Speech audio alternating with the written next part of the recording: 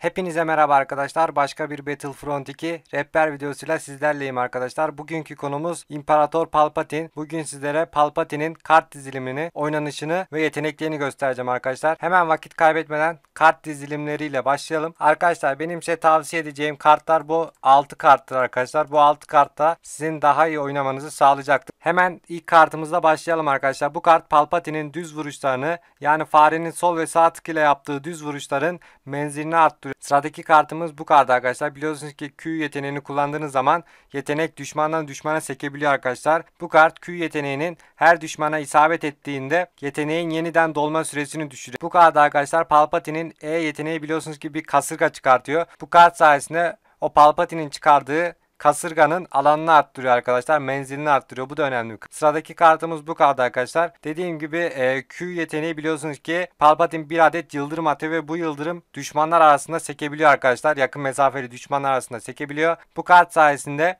sekebilen e, yıldırım yeteneği daha fazla düşmana sekebiliyor arkadaşlar. Sıradaki kartımız bu kart arkadaşlar.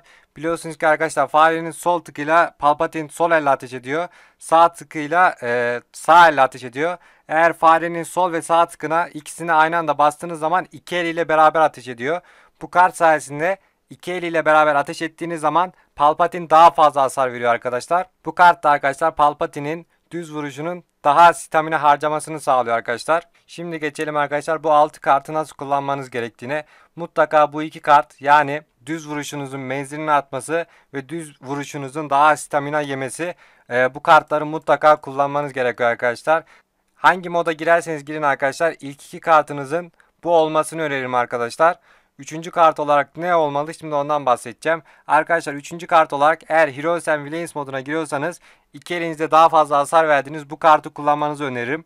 Heroes and Villains'i kullanıyorsanız bu üç kartı kullanmanızı öneririm. Eğer Süper Messi, Galactic Assault ve Co-op modlarına giriyorsanız hangi yeteneği daha iyi kullandığınıza bağlı olarak üçüncü kartı seçebilirsiniz arkadaşlar. Arkadaşlar dediğim modlarda yani Galactic Assault, Co-op ve Super Messi modlarında 3. kart olarak istiyorsanız bu kartı kullanın. Bu kart biliyorsunuz ki Q yeteneğinin daha hızlı dolmasını yarıyor. İstiyorsanız arkadaşlar E yeteneğinin menzilini arttıran ve daha fazla düşmana etki etmesini sağlayan bu yeteneği 3. kart olarak kullanabilirsiniz. İstiyorsanız da Q yeteneğinin daha fazla düşmana isabet etmesini yarayan bu kartı kullanabilirsiniz 3. kart olarak. Bu 3 kartın da ortak özelliği daha fazla düşmana e, isabet etmesi, daha fazla düşmana hasar vermesi arkadaşlar. Ve kalabalık modlarda 3. kart olarak bu 3 karttan birini kullanabilirsiniz arkadaşlar. Bu 3 karttan birini arkadaşlar hangisini daha iyi kullanıyorsanız, hangisini daha çok kullanıyorsanız sizin kullanımınıza göre bu üçünden birini 3. kart olarak seçebilirsiniz arkadaşlar. Evet arkadaşlar kartlar hakkında bilgiler verdim. Şimdi oyuna geçip gameplay yapacağız. Hadi oyuna geçelim. Şöyle hemen yeteneklerinden bahsedeyim. Arkadaşlar E yeteneğimiz bir kasırga oluşturuyor. O kasırganın içine giren düşmanlara hasar veriyor. Q yeteneği sizde o Q'dur. Yıldırım atıyor arkadaşlar. Bu yıldırım rakiplere sekebiliyor. F yeteneği de yine bir yıldırım atıyor. Bu yıldırım rakipleri e, sersemletiyor arkadaşlar. Yani donduruyor. Bu arada arkadaşlar mouse'un soluyla ateş ederseniz sol elle e, ateş ediyor. Sağına basarsanız sağ elle ateş ediyor. İkisine birden basarsanız ikisiyle birlikte ateş yani yıldırım atıyor. Mouse'un orta tuşuna basarsanız da Staminanız bittiğinde böyle yakın mesafeli e, düşmanları yakın mesafe saldırısı yapıyor arkadaşlar. Mouse'un orta tuşuna basarsanız. Bu tek el çift el mevzusu da arkadaşlar eğer iki elle ateş ederseniz daha çok e, vuruyor ama daha gördüğünüz gibi aşağıda staminaya bakarsanız daha fazla stamina yiyor. Orası bayağı kalabalık. Şöyle E'ye basalım ve gidelim oraya.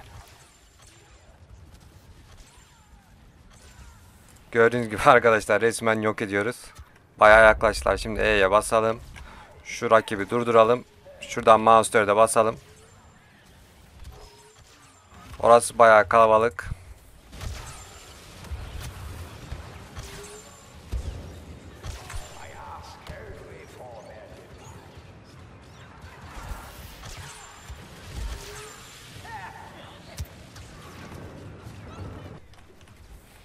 Bayağı düşman geldi arkadaşlar. Şöyle mouse'ları da basalım. Gördüğünüz gibi orayı yok ettik.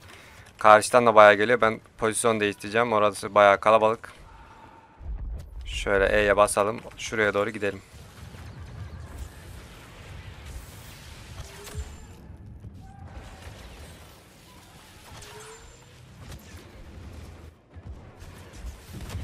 Aşağıdan bayağı kişi geliyor. Hemen şuraya mouse da bastım. Biri bayağı vuruyor arkadan. Hemen onu da öldürelim. Şöyle E'ye basalım. Şöyle E'ye basıp oraya doğru gidelim.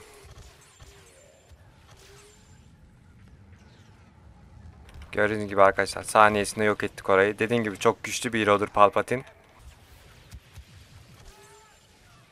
Ve mutlaka iki, eli, iki elinle yani farenin sol ve sağ tıkına basarak ateş etmenizi öneririm. Bizimkiler kaybetmiş. Şuraya doğru gidelim.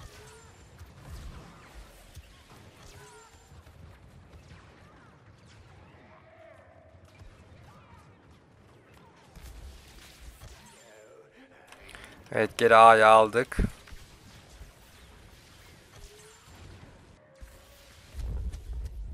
Şöyle aurayı açıp bunu da sabitleyelim. 32 kilimiz oldu arkadaşlar. Bizimkiler yine orayı kaybetmiş. Şöyle mouse'ları da basalım ve orayı geri alalım.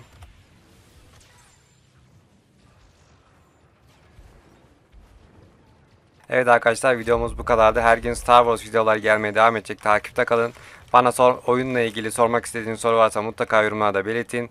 Benden çekmemi istediğiniz video varsa onu da yorumlarda belirtin. Başka videoda görüşmek üzere. Hoşçakalın arkadaşlar.